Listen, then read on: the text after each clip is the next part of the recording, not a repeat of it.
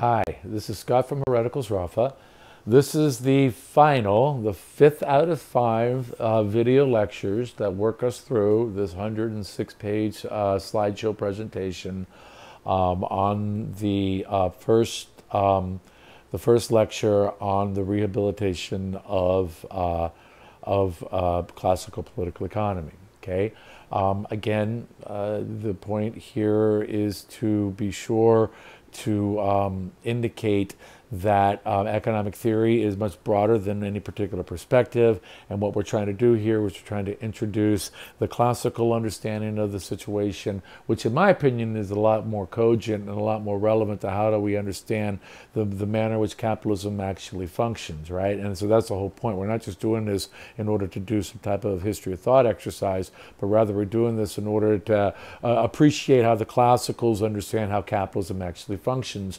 And that that is a legitimate way in which our science needs to progress, and that this idea that economics is only about decision making choices under uncertainty and constraint optimization and some type of behavioral science, nah, that, that ain't like economics, only one particular approach to what economics is. And I challenge uh, I challenge the discipline to, you know, to stop lying, please, about this. Economics is much more broader than any particular perspective. This one included. It's broader than my perspective too, or this perspective that I have. I mean, I'm not saying that mine's the only way, but I'm also saying theirs ain't either, right? And I think it's really important, especially for the younger generation, not to let my generation and older lie to you anymore. I think that you need to reclaim economic science back from the ideological you know, constraints that have been put on it, quite frankly. And I think that's something that uh, that that that we have to do. I, I think that uh, that that's that's clear.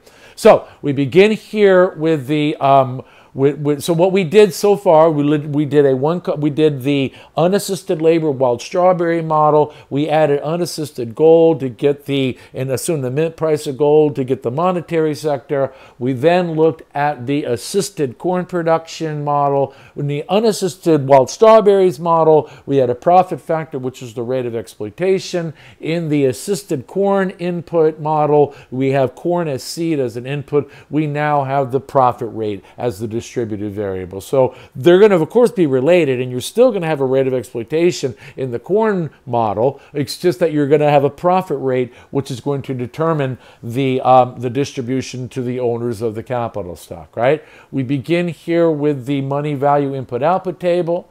And so here we have the notion that the value added by living labor is going to be equal to the value of the net product. Here, this is the paragraph 10 equal paragraph 12 in Sraffa. This becomes the fundamental cement of the subsequent distribution relations. Here we have the double entry bookkeeping understanding that the newly created uh, value in the system all right, what, what Adam Smith would call the wealth of the nation, okay, the newly created value of the system is going to have a double entry bookkeeping relation where you're going to have the value of living labor and the value of the net output, both of which are going to be equal to each other, and that notion, that magnitude of value conceived in these uh, in this double entry bookkeeping way is going to be which that which is distributive, and that that that uh, begins our um, that begins our uh, our framework.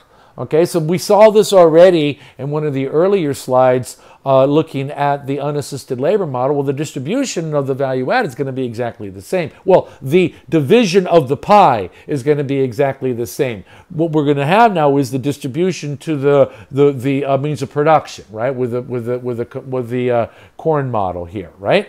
So here you have your double entry bookkeeping. The value added by living labor, the value at the complete wage rate is equal to Y. The and here we have the output account. The value of the net output is equal to Y. That's going to be that total pie. And then we're going to change our distribution from pure wage revenue to pure profit revenue, or let me say pure wage remuneration to pure profit remuneration. Pure wage remuneration, the wage share is one, the profit share is zero. Pure profit remuneration, the wage share is zero, the profit rate is one. Okay, and we also have the um, uh, uh, we also have the, um, the the profit rates. Okay, I should actually do that.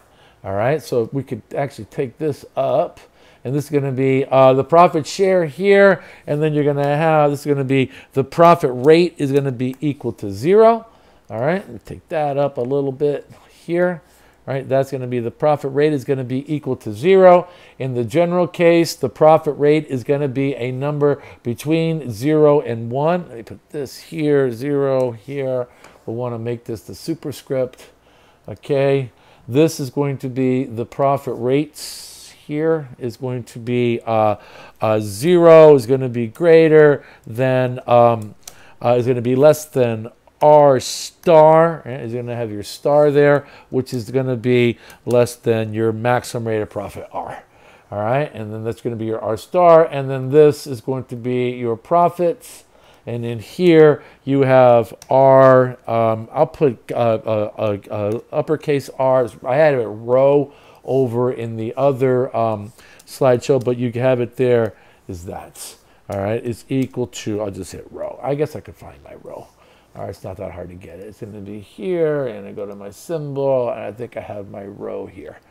All right, but I don't like that particular rho. It's that one, but in any event, all right, we'll have this one. That's why I don't use that one. All right, maybe make this one.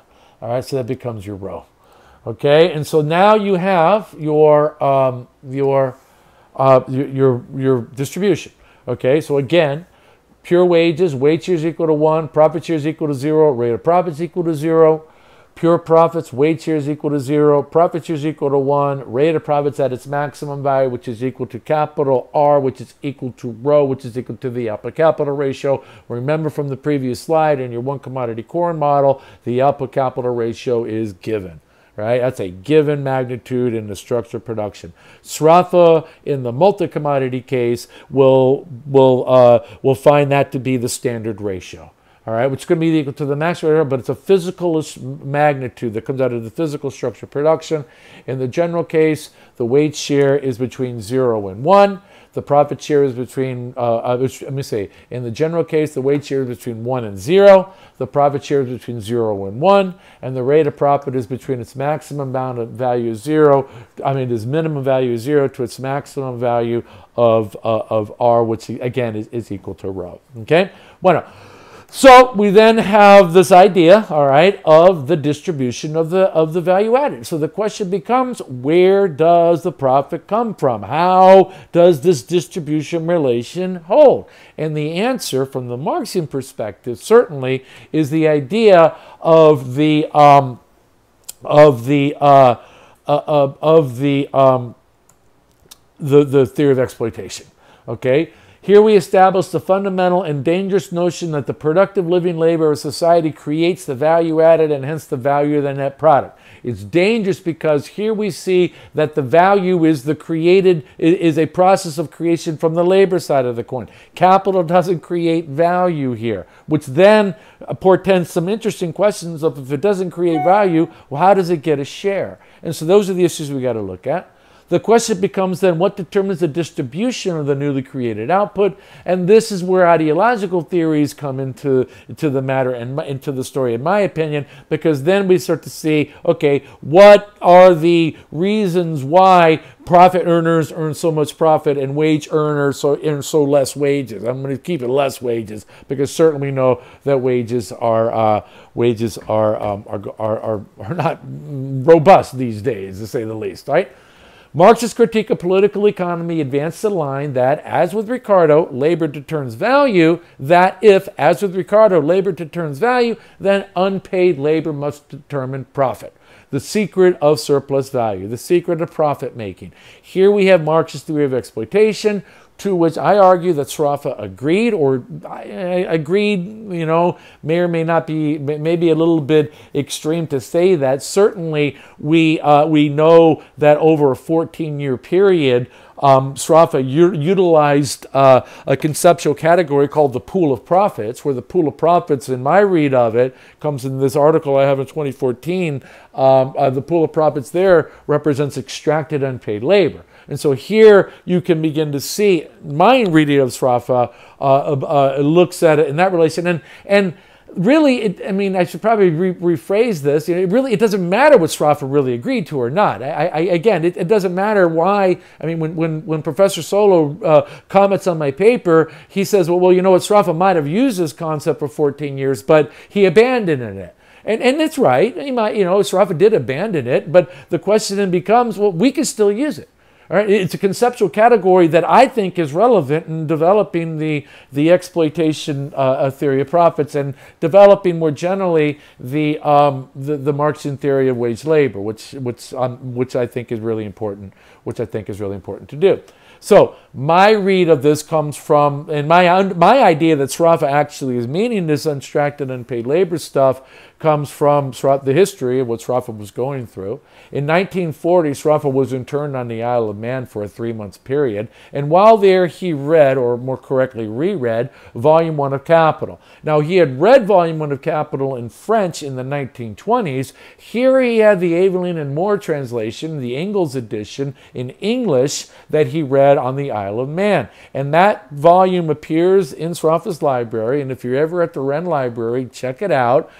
Fetch that particular volume, and inside you'll see that Sraffa has a series of notes. Not only are there a lot of marginal notes on the spine and the back of the book, I mean on the back it's not the spine, but on the back of the book, the back and front covers of the book, but there's also a, an envelope that contains, I think it's 13 different pages that Sraffa writes and inserts in there that were written either while Sraffa was on the Isle of Man or shortly after he got back to Cambridge in 1940 after Keynes was able, was able to rescue him. And so what I'm showing here is this, and I'm not going to spend a lot of time on the um, on, on the development of Sraffa's project in this PowerPoint. We got a whole series of PowerPoints that I'm going to look at. We're going to really go through and develop uh, Sraffa's, uh, story uh, uh, uh, uh, very thoroughly. It's, it's all out there for us to do it. But this, this timeline, we're here. Okay, so Sraffa in 1940, he's interned on the Isle of Man and he reads Capital. Okay, then in 1942, and from 1942 to 1945, this constitutes the period of constructive activity that Sraffa did in the 1940s. It was the second of three periods of constructive activity. And when I say constructive activity, I mean activity that's related to the production, to, to the, to the, um, right into production of commodities, right? And so he began in the 20s, uh, and then the 40s, and then the 50s, and this is the period of the 40s. And so this, it, up until 1945, from 1945 until 1955, Sraffa had to finish Ricardo right? I mean, this had been going on since 1930, actually. Keynes had actually put him in, uh, in charge of that, and Keynes wouldn't live to see because Keynes died in 1946. And so Sraffa had to get busy on the Ricardo edition. I will say, I'm going to come back to it, though, in 1943, which is when Sraffa wrote uh, his Black Notebook, the, the uh, which appears as D191. Um, it's, it, Gehrke and, and Kurz have a uh, article called Sraffa Bortkiewicz, and they and they go through the uh, the uh, uh the notes in D191. It was written in 1943. Also in 1943, um, and also here you have the marginal notes, uh, D1, D31233 and D31229. Sraffa is writing these notes in 1943. Also in 1943 was the finding in Ireland of the lost Mill papers and the Ricardo correspondence. There is where we have, uh, found absolute and exchangeable value and, and, and, and a treasure trove of different um, heretofore or at that time unknown um, works of Ricardo. So that delayed even further the um, the publication of uh, of the Ricardo correspondence, but it was there. I mean, you imagine what Sraffa was going through at the time. His mind is very fertile. He's working on these very interesting theoretical questions in economic theory. Nobody, he's doing it himself in these notes. And then come the Ricardo papers, the Lost Mill papers, rather from the uh, the attic in Ireland. Oh my God, he, I'm, sure that it was just an amazing, uh, amazing time, for, amazing time for him. So he finishes his Ricardo and. Uh, and, and then in from 1946 to 1954, and then in 1955 he re, he, he commences again the third and final um, final period of the um, of, of, constructive activity. And, and then in 1960, he publishes his book. And what I'm doing here is that these are two particular sets of notes that Sraffa is going to refer back to in the Majorca draft of March of 1955, which is archived as D31252. I recommend that people read the Majorca draft. I, I'll do a, uh, a, a, video on the Majorca draft probably before I do uh, uh, some of the others. It's a wonderful thing. And plus, I have the whole thing transcribed, and people can start to, um, can start to read. Okay, um, so the idea here is that what I'm saying, all right, so the way, the reason why this is relevant for our framework is that in 1940, Sraffa reads Marx' uh, Volume 1 of Capital. Now, this is going to be related to this question of the, the, um, the, the, the extraction theory of profits, right? So we have here, okay, inside the edition of, uh, of, of Capital, we find this note. This is written in uh, November of uh, 1940, okay? And it says here, but it's inserted in his volume of Capital, okay? The greater the degree of exploitation in the society as a whole, the greater is the distortion, i.e., divergence between values and prices. So again, we're looking at the price value deviation question, as the greater the amount of snow fallen, the greater is the distortion of the surface of a piece of broken ground, i.e., the divergence between the surface of the snow and that of the ground underneath, since the snow collects in the cavities. And so, the way I read this is the following way, okay? I call this Sraffa snow.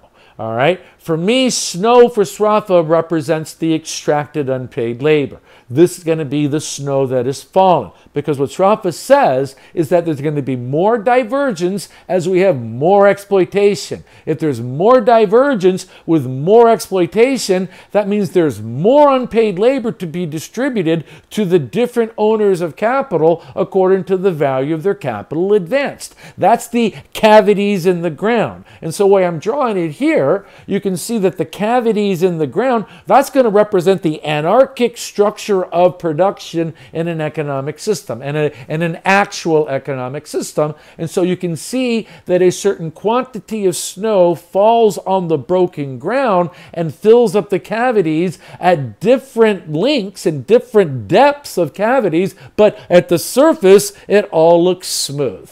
All right, so now you can begin to see how Sraffa is framing the distribution question. And so then we say, all right, well, when the rate of exploitation is less, boom, you ain't got as much snow to shovel. When the rate of exploitation increases, you got a lot more snow to shovel. All right, and so you can see here, there you have the relation of the divergence between the uh, surface and the and and the and the and the broken ground. Okay, so this uh, uh, this relationship here, this is a little slide on, on, on, on, on Marx, how Marx, I would agree to something like that. Now, this kind of visually shows how I see Sraffa's project to manifest, okay? What you have here are the two are the economic systems. One is going to be the actual economic system where the broken ground is going to be all anarchic and, and, and, and, and craggy. Then you're going to have the standard economic system where in the standard economic system what Sraffa does is he takes the actual economic system and according to the the watershed proportion labor to means of production ratio, which not coincidentally is equal to the maximum rate of profit, is equal to the standard ratio. That's all this here. Okay, the notation is a little bit different on this slide because I cut and pasted this from an earlier paper. But the point I'm making here is simply that we can restructure the actual system and then we can express surplus and deficit industries and then we can take the same amount of extracted snow, extracted unpaid labor, and we can repack that in terms of a more, uh, uh, a, a more cogent way to understand the distribution relation that is less anarchic. This is what Sraffa tries, I argue, what Sraffa accomplishes with the invariable measure of value. Here you just have two industries, one surplus and one deficit industry, but in, in this lower graph in, in panel C says, well, if you have a variety of different industries, you're going to be able to, vis-a-vis the watershed proportion, you know, a, a demarcate the different industries in your end commodity case from the surplus industry whose labor to means of production ratio is greater and from the deficit industry whose labor to means of production ratio is less than the average, where the labor to means of production ratio is going to be the inverse of the capital labor ratio. The L, I call it the LMP ratio. The LMP ratio is the capital labor ratio as it appears in Sraffa, which is the inverse of the traditional capital labor ratio. But in any event, there you have your, your, your actual and your standard relation and kind of gives an idea of, of my read of what Sraffa is trying to do. I got a whole PowerPoint on that. I, I'll talk back I'll talk back to that. I, I get this out of Eatwell's, um, uh, uh, some of Eatwell's work in the 1970s, but I know there's a lot of controversy on this and, and the whole question, and, and, and I don't want to get into the uh, in, into endorsing any one particular approach or not. Okay, but I do think that uh, that I would encourage readers of, of many things, but definitely read um, from the Quarterly Journal of Economics, uh, Eatwell's Mr. Sraffa's Standard Combining the Rate of Exploitation, just to give a, a kind of a, a framework of where I'm coming from at least, uh, and, and seeing. And again, I'm not necessarily saying it's the only way or whatever, but in any event. So now we're going to be looking at class struggle, right? We'll come back to this. All right, so now you got exploitation. Well, if the source of profit is exploitation, well, that means that there's if, if you want to increase your profit, well, you want to increase your exploitation, right? And, and here we're assuming that there's no technical change, okay? So that the only way to increase profit is increase in exploitation, all right, which is here right? Going to be that distribution, and boom, you're going to be squeezing the labor as the circle gets more blue, right? Red's going to be pure labor, blue's going to be pure cap, I mean pure profits, and so the movement to the creation of profit is going to necessarily result in the, uh, at least in the um, in, in the non-technical change system a, a, decrease in wages, right? This is going to be the class struggle. I put it here. Blue's the profit, uh, uh, red's the wages. I, I try to show on the bottom. I, I get these images on the on, on, on, you know their open source stuff. Just Google search the images. What I like about the lower image is you got farmers and workers together. All right, which I think is is is is, is rising piss, and then you got the uh,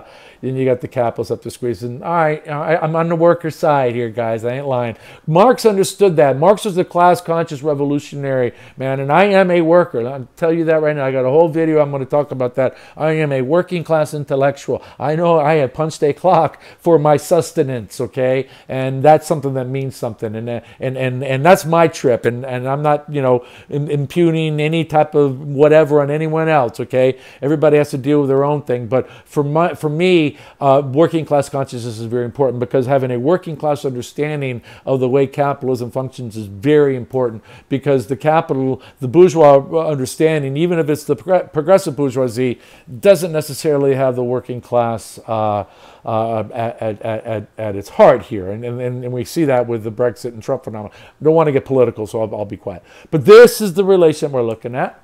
All right, so then we look here. All right, so then I give you the distribution of the net product, and basically I'm going to go through with the different relations, means of production, all in our money structure, right? Uh, means of production, uh, a value added, wage share, profit share, exploitation rate, wages, value added, profits, value, uh, I mean, wages uh, is equal to the wage share times value added profits is equal to the profit share times the value added, and then your rate of profit there, and then you can see how that works. All right, so you have all the values there. Here we have increasing profit, decreasing profit. This is going to be the class struggle, right? What determines this? Well, in the 1950s, so goes the myth, the wages were, well, wages were higher, but the 1950s you had more wage regime, and then in the 1980s you had more of a profit regime, and so then you have this constant struggle here between wages and profit, and what determines what the actual distribution of the net output is, that's the $100,000 question. For my money, it's going to be how we organize, and it has to be a matter of class struggle. Hence, ergo, the notion that working people have to organize in a way in which we have never done before. Okay, that requires a lot of uh, a lot of class consciousness on the part of workers and, and people who want to identify with workers and understand the nature of it in my in my estimation. Right? So that's going to be the distribution there. Okay, then we draw it in terms of both of our schedules.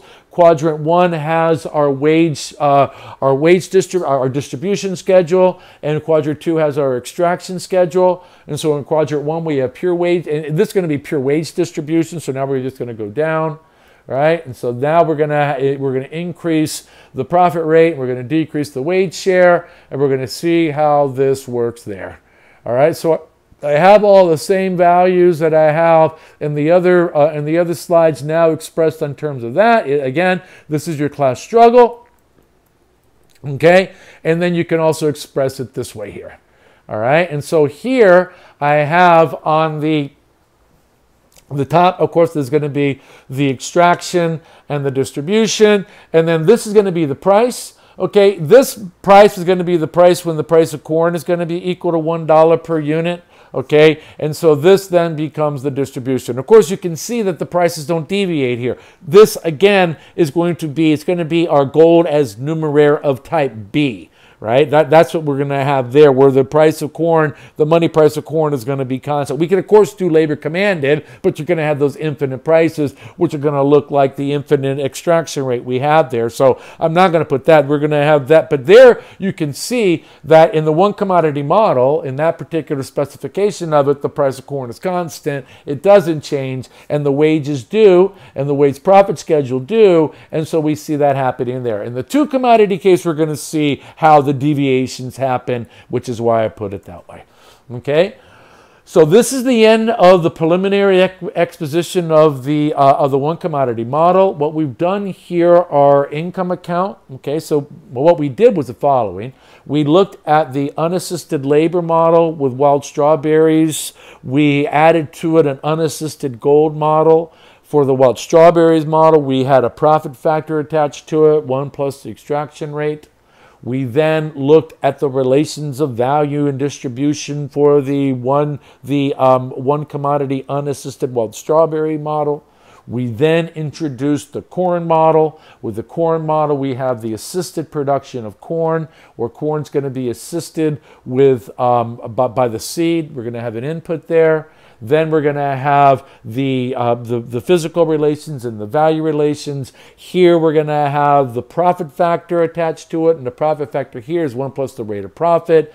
You have the, distri the distribution relations where you're going to have the weights here is going to be unity. The rate of profit is zero. The extraction rate is zero. The weight share goes from unity to zero. The profit rate moves from zero to its maximum value, capital R equal to rho equal to the output capital ratio, and the rate of exploitation goes to, inf uh, goes to infinity. The output capital ratio is going to be given by the structure of production. We look at the relationship between wages and profits, and we ascertain our distribution schedule. The next uh, slideshow that I'm going to put up is going to be uh, uh, lecture two. And in lecture two, we're going to look, uh, continue with the one commodity model and look at the um, relationship between the income and the output accounts and develop the um, more formal uh, relationship there, okay?